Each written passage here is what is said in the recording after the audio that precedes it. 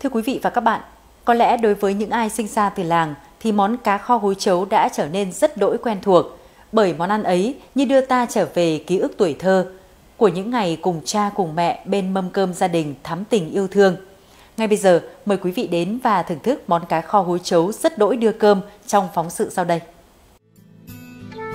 Muốn ăn cơm trắng cá kho, trốn cha trốn mẹ xuống đò theo anh. Câu ca dao xưa đã đi vào đời sống thường nhật của biết bao thế hệ người dân vùng quê Bắc Bộ.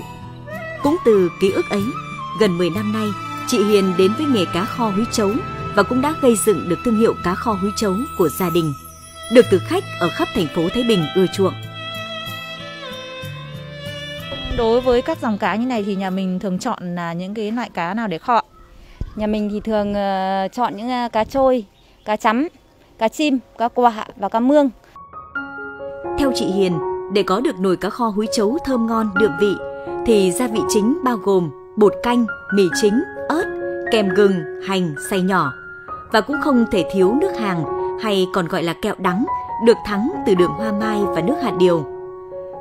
Cá khi kho được kho cùng với thịt lợn ba chỉ để tạo độ bóng cho cá và độ ngậy khi ăn. Thời gian kho thì tầm có khoảng ờ, gần 10 tiếng đồng hồ. Hai nữa là ờ, cũng phải thêm nước rồi là coi 24 trên 24 chứ không thì nó có khả năng là hết nước là cá nó khê chẳng hạn. Mỗi ngày gia đình chị Hiền cho ra lò khoảng 12 đến 14 nồi cá kho húi chấu.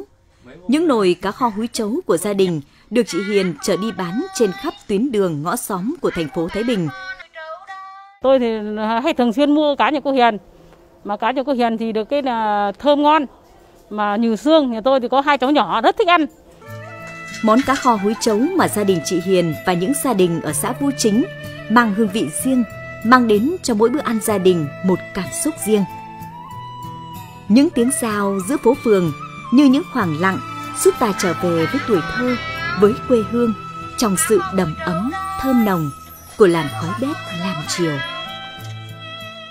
Celebration Hotel, địa chỉ 36 Quang Trung, Trần Hưng Đạo, thành phố Thái Bình, tổ hợp nghỉ dưỡng, chăm sóc sức khỏe, thư giãn và giải trí, nơi tổ chức hội nghị, sự kiện, tiệc cưới, nhà hàng.